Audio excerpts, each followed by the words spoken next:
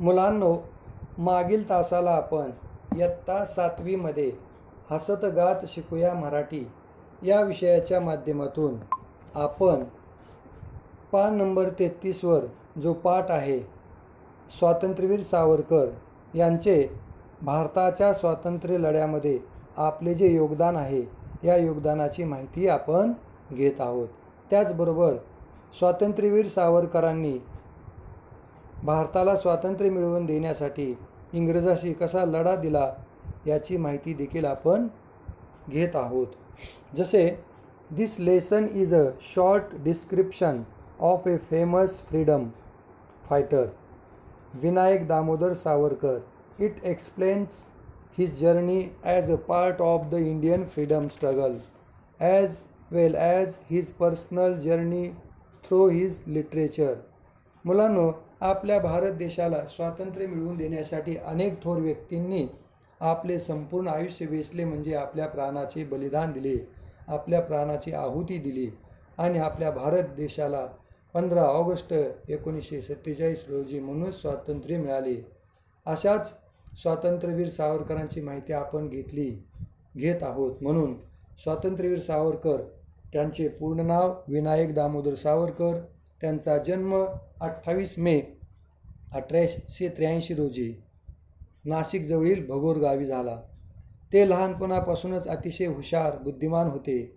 त्यांचे वक्तृत्व देखील उत्तम होते. ते भाषण छान करत आणि त्याचबरोबर त्यांना अनेक भाषा अवगत यामध्ये मराठी संस्कृत इंग्रजी या भाषावर त्यांचे प्रभुत्व होते. मराठीमधून त्यांनी काव्यरचना केल्या. यामध्ये स्वदेशीचा फटका स्वतंत्रता देवीचे स्तोत्र या काव्यरचना अवघ्या त्यांनी वयाच्या तेराव्या वर्षी पूर्ण केल्या. तसेच एकोणीसशे दोन साली त्यांनी पुण्याच्या फर्ग्युशन महाविद्यालयामध्ये उच्च शिक्षणासाठी म्हणजे बी एच्या शिक्षणासाठी प्रवेश घेतला. एकोणीसशे सहा साली उच्च शिक्षणासाठी ते बी ए नंतर इंग्लंडला म्हणजे लंडनला गेले आणि तेथे त्यांनी एल एल बी म्हणजे बॅरिस्टरच्या शिक्षणाला सुरुवात केली. इंग्लंडमध्ये त्यांनी राहत असताना वास्तव्यात असताना त्यांनी मॅझिनी आणि अठराशे सत्तावन्नचे स्वातंत्र्य समर म्हणजे अठराशे सत्तावन्नचा जो उठाव आहे जो युद्ध आहे यावर त्यांनी पुस्तके लिहिली. भारतात परत आल्यानंतर त्यांनी देशभक्तीसाठी भारावलेल्या या युवकाने एकोणीसशे पाच साली विदेशी कपड्यांची होळी केली. कारण कपड्यासाठी लागणारा कच्चा माल ते भारतातून न्यायचे आणि इंग्लंडमध्ये त्याच्यावर प्रोसेस करून प्रक्रिया करून तेच कापड आपणाला ते जास्त किमतीमध्ये विकायचे त्याच्यावर टॅक्स बसवायचे. आणि स्वदेशी कापड आपल्याला वापरू देत नव्हते आणि विदेशीचा स्वीकार करा असं ते म्हणायचे. म्हणजे त्यांनी बनवलेले कपडे वस्तू घ्या असं ते म्हणायचे. याविरुद्ध विनायक दामोदर यांनी काय केलं? या विदेशी कपड्यांची त्यांनी होळी केली. भर रस्त्यामध्ये कपडे पेटवून दिले. आणि पुढे पान नंबर चौतीसवर पहा. नाशिकच्या कटात भाग घेतल्याच्या आरोपावरून एकोणीसशे दहा साली त्यांना इंग्लंडमध्ये अटक झाली. आणि त्यांना भारतात खटला त्यांच्यावर भरल्यामुळे लंडनहून त्यांना भारतामध्ये आणत असताना लंडनमधून येताना मार्सेलिसजवळ त्यांनी मोर्या नावाची आगबोट होती. मार्सेलिसजवळ हे ठिकाण आल्यानंतर समुद्रामध्ये मार्सेलिसजवळ आल्यानंतर मोर्या आगबोटीच्या पोर्ट होलमधून त्यांनी उडी मारली. म्हणजे बोटीमध्ये आलेलं पाणी वाट काढून देण्यासाठी जे छिद्र असतात पोर्टहोल असतात किंवा अन्य कारणासाठी जे होल ठेवलेले असतात जे बोटीसाठी आवश्यक असतात अशा पोर्ट होलमधून त्यांनी काय केलं? उडी मारली आणि फ्रान्सच्या किनाऱ्यावर पोहत गेले. पण त्यांचा निसटण्याचा म्हणजे तिथून सुटण्याचा प्रयत्न अयशस्वी झाला म्हणजे त्यांना त्यामध्ये यश आलं नाही. ही त्यांची ही उडी मार्शिलिस लिप त्रिखंडात गाजलेली आहे. मार्शिलिस म मध्ये ही त्यांनी जी उडी मारली त्या त्रिखंडामध्ये त्या ठिकाणी त्यांचे आजही नाव घेतलं जातं. त्यांना अटक करून पुन्हा भारतात आणले त्यांच्यावर खटला भरण्यात आला आणि त्यांना काळ्या पाण्याची शिक्षा झाली आणि त्यांना पन्नास वर्ष काळ्या पाण्याची शिक्षा झाली आणि त्यांना अंदमान निकोबार या बेटावर तिथं जो मोठा तुरुंग आहे त्या ठिकाणी पाठवलं. तुरुंगात बंदिवासाची शिक्षा झाली होती. पुढे अंदमानच्या तुरुंगात ब्रिटिश सरकारने त्यांच्यावर खूप अत्याचार केले. त्यांना अपमानास्पद वागणूक दिली. अनेक तरतरच्या यातना त्यांना सहन कराव्या लागल्या. त्यांच्या डोळ्यासमोर एकच ध्येय होतं ते म्हणजे मातृभूमीला स्वातंत्र्य मिळवून देणं. हे मातृभू सारे हे मातृभूमी तुझे फेडीन पांग सारे. आणि आरतीला हे सूर्यचंद्र तारे अशा प्रकारचे अनेक त्यांनी समर गीतं लिहिली. स्वातंत्र्यासाठी त्यांनी आपल्या प्राणाचा देखील विचार केला नाही. तुरुंगामध्ये राहूनसुद्धा ते काय करायचे? भिंतीवर काट्याच्या साह्याने काय करायचे? लेखन करायचे. आपल्या मनामध्ये आलेले विचार देशाविषयीचे प्रेम त्या ठिकाणी भिंतीवर ते हातातील काट्याने काडीने कोरायचे. अनेक यातना सहन करत असताना देखील त्यांच्या डोळ्यासमोर एकच ध्येय होते ते म्हणजे मातृभूमीचे स्वातंत्र्य. हे मातृभू सारे फेडीन पांग तुझे आनीन आरतीला हे सूर्यचंद्र तारे तुझ्या आरतीला मी हे सूर्यचंद्र तारे आणेन. आणि इंग्रजांनी जो काळा कुट्टा अंधार या भारतभूमीवर केला आहे तो एक ना एक दिवस आम्ही जरूर सूर्यचंद्र ताऱ्यांना खाली आणून त्यांना या ठिकाणून इंग्लंडमध्ये परत पाठवू. तब्बल तेरा वर्ष हा छळ सहन करीत असताना सावरकरामधील कवी आणि क्रांतिकारक जागाच होता. त्यांच्यामध्ये कवी त्याचबरोबर एक क्रांतिकारक इंग्रजांविरुद्ध आवाज उठवणारा त्यांना सळो की पळो करून सोडणारा क्रांतिकारक कवी त्यांच्यामध्ये जागा होता.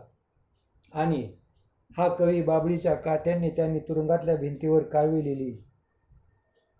अंदमानातून एकोणीसशे वीस साली त्यांची मुक्तता झाली आणि पुढची चार वर्षे त्यांना पुणे येथील एरवड्याच्या तुरुंगात आणले गेले. अंदमान येथून त्यांना एकोणीसशे वीस साली त्यांची मुक्तता झाली त्यांना पुढे एरवड्याच्या तुरुंगात आणले. राजकारणात भाग न घेण्याच्या अटीवर त्यांना सहा जानेवारी सहा जानेवारी एकोणीसशे चोवीस रोजी त्यांची मुक्तता झाली. त्यांना इंग्रजांना ज्यांनी त्यांना अटक केली होती खटला चालला होता त्यांना लिहून द्यावं लागलं की यापुढे मी क्रा क्रांतिकारकाच्या माध्यमातून राजकारणाच्या माध्यमातून कुठल्याही सभेला कटामध्ये सहभागी होणार नाही असं लिहून दिल्यानंतर त्यांना त्यांना रत्नागिरी येथे स्थानबद्ध केले. त्यांना रत्नागिरी या ठिकाणी नेले आणि त्यांना स्थानबद्ध केले. तेरा वर्ष ते रत्नागिरी येथे स्थानबद्ध होते. या काळात त्यांनी समाज सुधारण्याचे बरेच कार्य केले आणि दहा मे एकोणीसशे सदोतीस रोजी ते सरकारी निर्बंधमुक्त झाले. सरपा सरकारी निर्बंधमुक्त झाले म्हणजे फ्री झाले स्वतंत्र झाले. जातीभेद निर्मूलन अस्पृश्यता निवारण गोरक्षण वगैरे अनेक सामाजिक कार्य त्यांनी केली. त्यांनी जातीभेदाविषयी आवाज उठवला. जात त्यांना मान्य नव्हती. कारण का? ते नेहमी म्हणायचे जन्माने कोणताही माणूस जात घेऊन येत नाही. समाजामध्ये ते त्याच्यामध्ये आपण भेद निर्माण करतो. म्हणून जातीभेद निर्मूलन करण्यासाठी त्यांनी सामाजिक कार्य केले. अस्पृश्यता निवारण मानव सगळे मानवजात एकच आहे. पृश्य अस्पृश्य असं कोण नाही त्याचबरोबर गोमाता गायींचं रक्षण करण्यासाठी त्यांनी अनेक सामाजिक कार्य केली. भाषाशुद्धी लिपीशुद्धीसाठी समाजात खूप प्रयत्न केले. भारताची भाषा मराठी भाषा काव्यरचना आपली जी शुद्ध भाषा आहे ते श त्या शुद्ध भाषेविषयी त्यांना अभिमान होता आणि ती शुद्ध भाषा समाजामध्ये त्यांनी पेरण्याचा लोकाच्या मनामध्ये रुजवण्याचा प्रयत्न केला. सावरकरांनी अनेक ग्रंथ लिहिले त्यात माझी जन्मटेप हे त्यांचे पुस्तक खूप गाजलेले आहे आणि प्रसिद्धही आहे. सावरकरांनी जे भोगलं जे अंगीकारलं जो अन्याय त्याच्यावर इंग्रजांनी केला त्यावर त्यांनी पुस्तक लिहिले. सावरकरांनी अनेक ग्रंथ लिहिले त्यात माझी जन्मटेप हे त्यांचं पुस्तक खूप गाजलेले आणि प्रसिद्ध आहे. सुमारे साठ वर्षे त्यांनी स्वातंत्र्य आणि सामाजिक कार्यासाठी अथक परिश्रम केले. बा जीवनातील साठ वर्षे त्यांनी देशाचं स्वा देशाला स्वातंत्र्य मिळावं समाजासाठी कार्य करावं यासाठी त्यांनी अथक परिश्रम घेतले. यासाठी त्यांना कित्येक वेळा तुरुंगात जावं लागलं त्यांच्यावर खटले चालवले इंग्रजांनी त्यांच्यावर अन्याय केला अशा कठीण प्रसंगांना ते सामोरे गेले आणि या महान देशभक्ताने एकोणीसशे सहासष्टमध्ये सव्वीस फेब्रुवारीला देह ठेवला. सव्वीस फेब्रुवारी एकोणीसशे सहासष्टमध्ये त्यांनी देह ठेवला.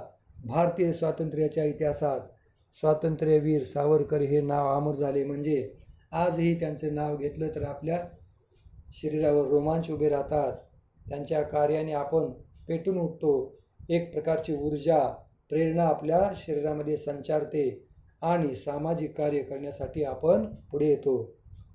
अशा तऱ्हेने मुलांनो देशभक्त स्वातंत्र्यवीर सावरकर यांची माहिती आपण घेतली. आता काही शब्दार्थ आहेत. त्या शब्दार्थांचा अर्थ आपण पाहूया. स्वातंत्र्य म्हणजे इंडिपेंडन्स जसं इंग्रजापासून भारताला स्वतंत्र करण्यासाठी स्वातंत्र्य चळवळ उभी केली. स्वातंत्र्य म्हणजे इंडिपेंडन्स थोर म्हणजे ग्रेट महान थोर समाजसुधारक थोर क्रांतिकारक थोर नेते. ठळक म्हणजे प्रॉमिनंट ठळक वैशिष्ट्ये जसं जीवन जगत असताना सामाजिक कार्य करताना अनेक काव्यरचना करणं पुस्तके लिहिणं इंग्रजाविषयी आवाज उठवणं मातृभूमीसाठी लोकांना प्रेरित करणं. देशभक्ती म्हणजे पॅट्रियोटिझम म्हणजे देशासाठी कार्य करणं. देश आर देशासाठी आपला जीव अर्पण करणं भारणे म्हणजे आनंदून जाणे. देशासाठी महान कार्य करणे.